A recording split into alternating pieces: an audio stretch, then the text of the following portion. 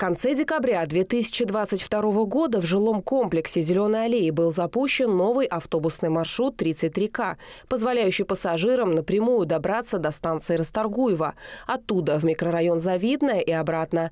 Но практически сразу после запуска общественного транспорта у жителей возникло много замечаний к перевозчику. В договоре указаны были автобусы среднего класса по факту ездили малого класса, не в полном объеме, с нарушением расписания. К середине года добились э, выпуска на маршрут автобусов среднего класса.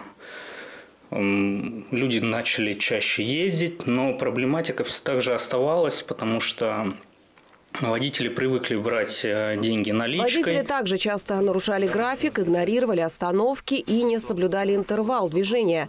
На маршрут выходило только три или четыре автобуса вместо заявленных пяти. С проблемой жители обратились в администрацию муниципалитета. Помог разобраться в данном вопросе временно исполняющий полномочия главы Ленинского городского округа Станислав Катаров.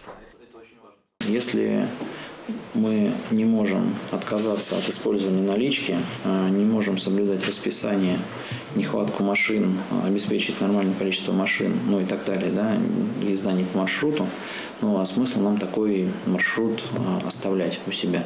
Мы бы тогда спокойно расторгли, выставили бы его на торги, на аукцион, отыграли и привлекли нормального перевозчика, который бы соблюдал все это все эти После требования. обсуждения проблемной транспортной темы было принято решение рассмотреть вопрос о смене перевозчика на данном маршруте.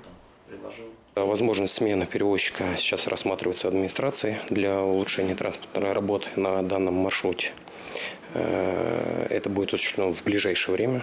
Я бы сказал, что в первом квартале 2024 года мы это планируем сделать. Э, для того, чтобы улучшить транспортную работу, э, я думаю, что с новым перевозчиком, может быть, может быть старый перевозчик исправится и начнет нормально работать. Но мы предполагаем, что будет замена перевозчика. Стоит отметить, что на время проведения конкурса по выбору компании автобусный маршрут 33К продолжит регулярную перевозку пассажиров.